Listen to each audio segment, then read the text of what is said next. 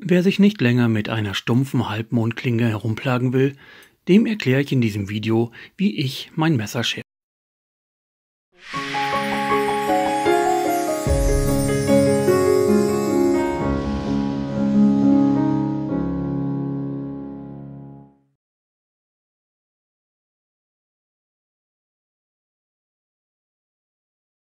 Das ist die Nahaufnahme einer Klinge, die schon bessere Zeiten gesehen hat. Man erkennt deutlich die Riefen, Furchen und Grate im Metall.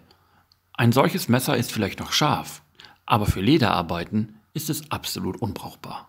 Warum? Leder ist faserig.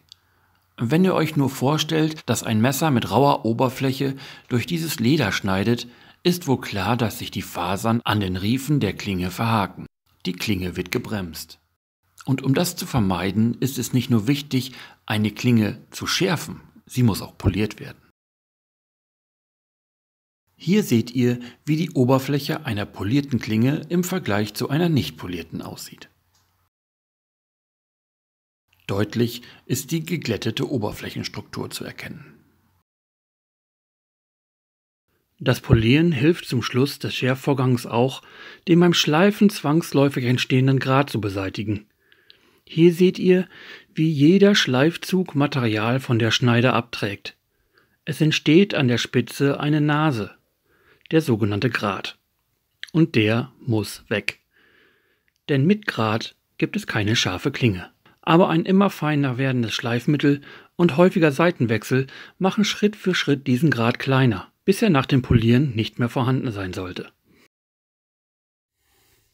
Was brauche ich für das Schärfen einer Klinge? Die günstigste Variante ist wohl wasserfestes Nassschleifpapier. Diese Bögen kosten nicht viel und sollten wirklich in jedem gut sortierten Baumarkt erhältlich sein. Achtet beim Schleifen aber auf eine gerade und feste Unterlage. Bei unebenen und krummen Untergründen wird auch das Ergebnis unsauber und krumm. Ideal ist zum Beispiel eure Punzierunterlage, eine Granitplatte. Es geht aber auch eine Glasscheibe. Teurer, aber vielleicht auf Dauer sinnvoller sind Schleifsteine. Sinnvoll deshalb, weil sie bei richtiger Handhabung ewig halten. Diese Steine gibt es als Wasser- und Ölsteine. Dieser hier hat zum Beispiel eine Seite mit 400er Körnung und die andere mit 1200er Körnung. Dies hier sind meine uralten, von Opa geerbten Ölsteine. Sie funktionieren immer noch. Als Schleifhilfe wird ein Tropfen Öl aufgetragen. Diese Steine ersetzen bei mir die Schleifpapiere. Das Prinzip ist aber immer das gleiche.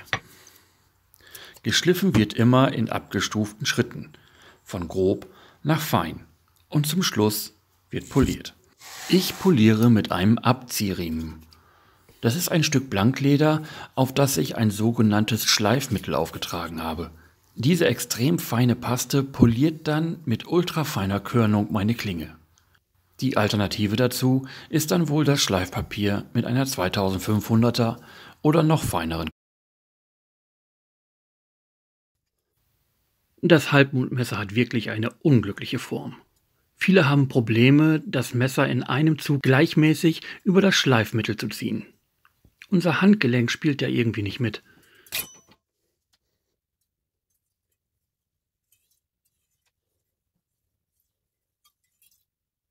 Deshalb teile ich die Klinge in einzelne Bereiche ein. Das macht den Vorgang um vieles einfacher. Ich unterteile in linke Hälfte, rechte Hälfte und Übergangsbereich.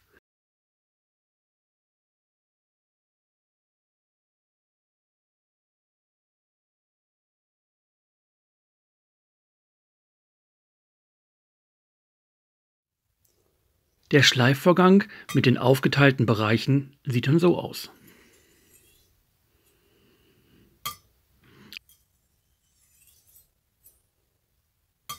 Achtet darauf, dass ihr immer einen flachen Winkel einhaltet.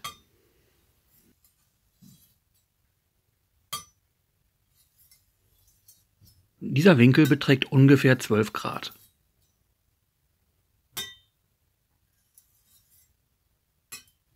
Okay, ihr müsst jetzt kein Geodreieck anlegen, aber ihr solltet schon den vorgegebenen Winkel einigermaßen einhalten. Wenn es darum geht, die Klinge nur nachzuschärfen, sollten die folgenden Schritte ausreichen. Also nacheinander 400er, 800er und 1200er Körnung. Solltet ihr eine komplett demolierte Klinge mit ein paar Kerben haben, dann müsst ihr mit dem groben Schleifmittel ein paar extra Durchgänge machen. Denn nur so baut ihr die Klinge komplett neu auf.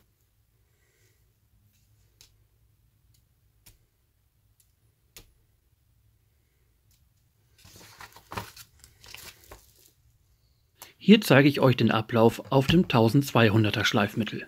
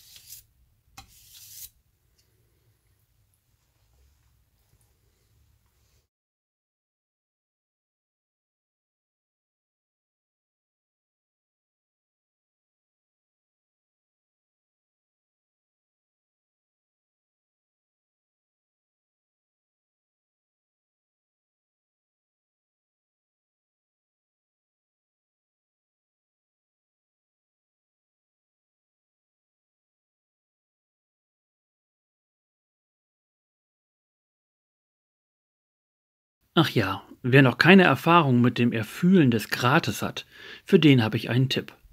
Nehmt ein Wattestäbchen und fahrt damit in flachem Winkel über die Klinge.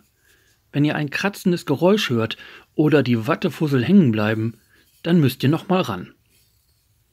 Wiederholt zwei Züge mit dem 1200er Schleifmittel, jedoch nur auf der kratzenden Seite.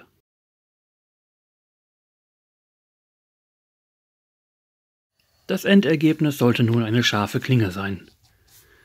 Wer seinen Halbmond vor jedem Gebrauch über das Abziehleder zieht, wird sehen, dass so ein kompletter Nachschärfvorgang seltener notwendig sein wird.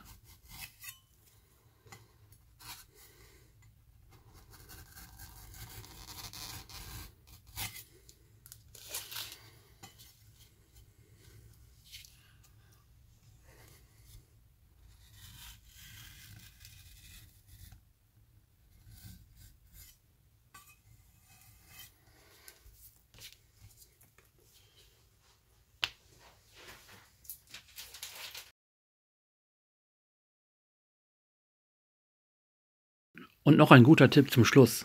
Schützt eure Finger und die Klinge mit einer Messerscheide.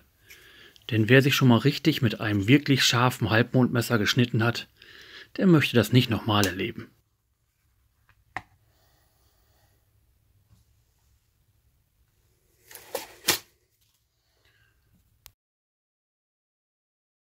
Und zum Schluss nochmal meine Bitte.